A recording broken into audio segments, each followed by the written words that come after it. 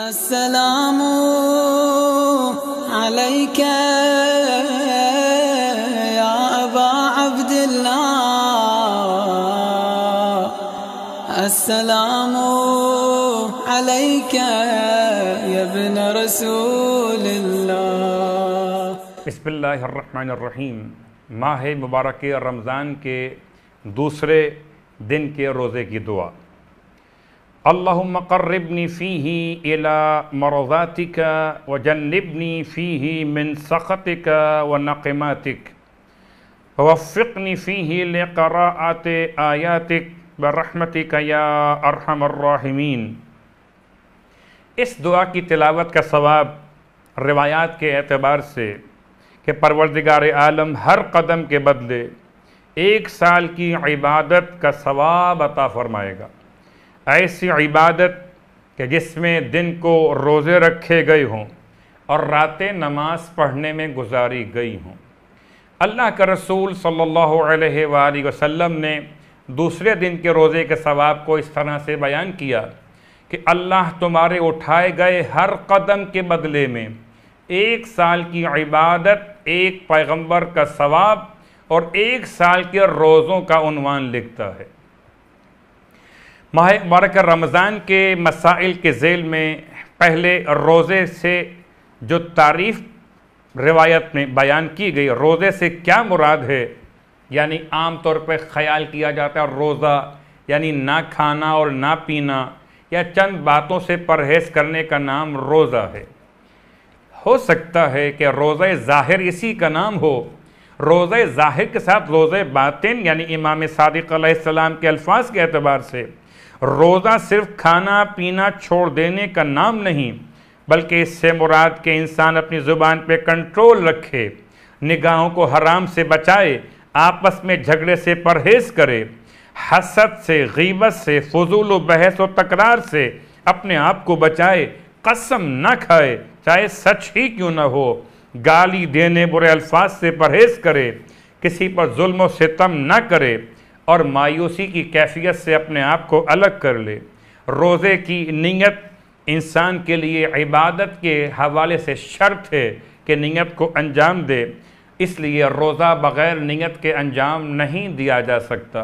सरकार मौलाई मुतक़ियान इबन अबी तालिब वसलम माह मुबारक रमज़ान की दूसरी रात के आमाल के बयान के साथ याद दिला दूँ। कौन मौला?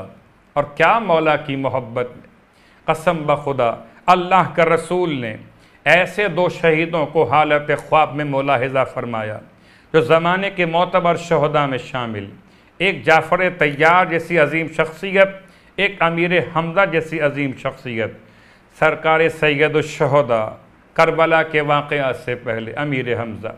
और आपने सवाल किया इन दोनों शहदा से कि आप दोनों हजरात ने इस आखरत में, मकाम जन्नत में क्या आमाल का सवाब सबसे ज़्यादा महसूस किया?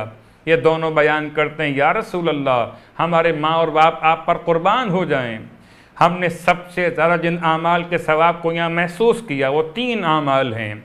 एक, आप पर और आपकी आल पर दरूद भेजना, एक, प्यासों को पानी पिला देना, और एक, मोहब्बत अली इब्न अबी तालिब सलाम का अजर सवाब। मौला की मोहब्बत में, आइए उस रिवायत को मुकम्मल कीजिए। मौला फरमाते हैं, अगर कोई शख्स माह रमज़ान की दूसरी रात में चार रकत नमाज़, दो दो रकत करके इस तरह से पढ़ेगा कि हर रकत में हम के बाद बीस मरतबा सूरह इन्ना की तिलावत करेगा तो खुदा इसके गुनाह को मुआफ़ फरमा देगा, इसका रिस्क ज़्यादा करेगा, वो आइंदा साल तक बुराइयों से महफूज रहेगा। इस रात की वो दुआ जो अल्लाह के रसूल ने पढ़ी, इस तरह पढ़ी जाए। या इलाहलअवलिन वल आखरीन व इलाह मम्बक़या व इलाह मम्मज़ा रब्बस्समावाति सबअ व मन फ़ीहिन्ना। फ़ालिक़ल इस्बाह व जाइलल सकना। व शम्स वल क़मर हुस्बाना। लकल हम्द व लक शुक्र व लकल मन्नो। तौल अंतल वाहिदो। असमदो असअलुक बिजलालिक सय्यदी व जमालिक व मौलाई, अन तुसल्ली अला मुहम्मद व आल मुहम्मद, व अन तग़फिर ली व तरहमनी व तरहमनी, व तजावज़ अन्नी इन्नका अंतल गफूर रहीम। माह रमज़ान, माह कुरान रबी उल कुरान। लेकिन कुरान की तिलावत में बात याद दिला दूँ कि एक आयत माह रमज़ान में तिलावत करने का सवाब एक ख़त में तिलावत कुरान के बराबर। ये भी याद दिला दूँ कि शरअन कोई वाजिब नहीं है कि इंसान माह रमज़ान में जो कुरान शुरू करे तो माह रमज़ान में कुरान ख़त्म भी करे। मकसद कुरान को ख़त्म करना नहीं, बल्कि उससे हिदायत को हासिल करना है। इसके दोहरे सवाब हैं।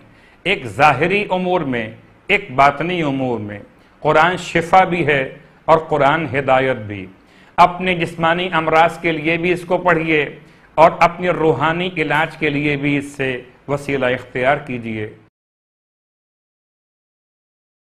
सूर्य वत्तीन, जो शख्स सूर्य वत्तीन अपने फ़राइज़ और नवाफिल नमाज़ में पढ़ेगा, अल्लाह उसे उसकी मर्ज़ी के मुताबिक मकान फराहम फरमा देगा।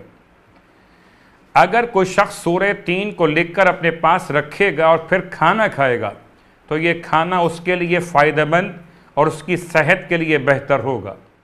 परवरदिगार से इल्तमास के खुदा हमको माह मुबारक रमज़ान की दुआ और माह मुबारक रमज़ान के तिलावत कुरान का शौक़ अता फ़रमाए। वसलम वरहमल वर्क